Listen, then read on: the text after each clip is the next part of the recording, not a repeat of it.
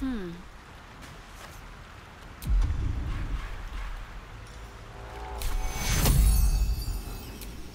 Take your... I've got a long road ahead. I live. Vlaakith blesses me once more. Our paths cross again, Istik. I might call it fate, if I believed in it. Neither the ghaik nor the crèche have broken your spirit. Yes, you may still be of considerable use. The longer the parasite lives, the more of us it consumes.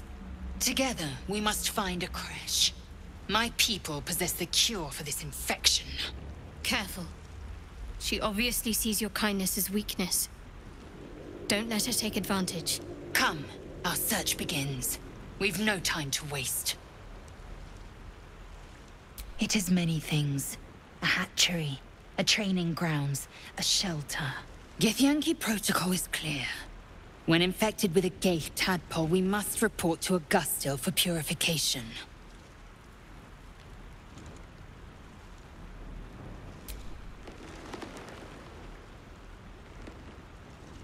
You have made an ally from Kresh Kalir.